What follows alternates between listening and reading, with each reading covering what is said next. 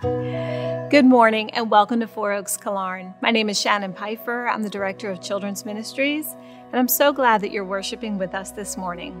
If you're here in the sanctuary, you'll notice some new things on the back of the chairs in front of you. We have a new, easy way to connect with our guests, and if you're worshiping with us for the first time, we are so glad that you're here.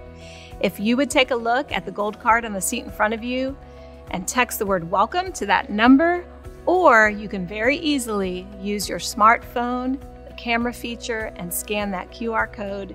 It's an easy way for us to get you information about the church and for us to get to know you a little bit better as well. You'll notice another card on the back of the chairs in front of you, and this is for giving. Here at Four Oaks, we worship the Lord through our gifts and our giving, and we've made it, again, super easy for you to use your phone to give.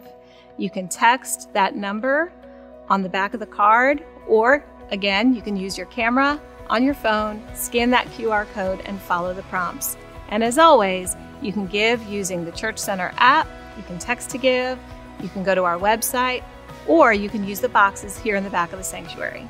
I'm also excited to let you know about how we are keeping our sanctuary and our building safe and clean during this season. Through a generous donation, we've been able to install a new air purification system in this building which kills 99% of germs, bacteria, mold, viruses, all the things that we worry about nowadays. So our building is safer and cleaner than ever. We have a volunteer cleaning crew that goes through after each service and sanitizes and cleans.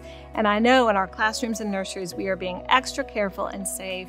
We're so glad to be able to make our building as safe and clean as humanly possible during this season. So, for all of you who are here, or if you're not here yet, I just want you to rest assured that we are taking care of our facility and make sure it's as clean as possible for you. There's a lot going on in the life of our church. You can go to the hub and check out everything that's happening, but a couple of things I wanted to tell you about that are happening today. First is our Young Adults Lunch, our Connect Lunch, which is happening immediately after our second service at the home of the Alleys. We're going to gather together and have lunch and fellowship.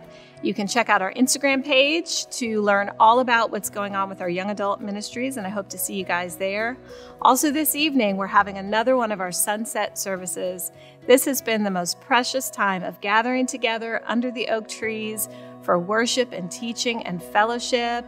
It has been so, so special, and we would love for you to join us. Remember to bring your lawn chairs, and we'll meet at 6:30 out under the oak trees. Again, you can go to the hub on our website and see all the things that are going on in the life of our church. Now let's continue to worship together as we open God's Word.